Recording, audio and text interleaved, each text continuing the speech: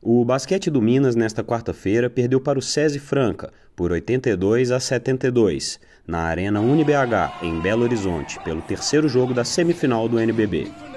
O cestinho do jogo foi o Márcio, do Franca, com 23 pontos, seguido de Lucas Dias, também do Franca, com 19 pontos.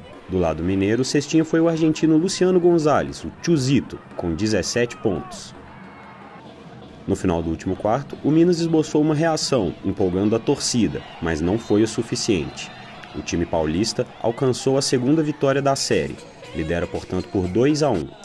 Ainda assim, a equipe belo-horizontina segue viva para chegar na final do torneio. Para isso, o Minas precisa vencer as duas partidas restantes, que acontecerão em Franca. O quarto jogo da série será neste sábado, às 17h10 no Pedrocão, em Franca. Se necessário, a quinta partida está marcada para 27 de maio, às 20 horas, também na cidade paulista.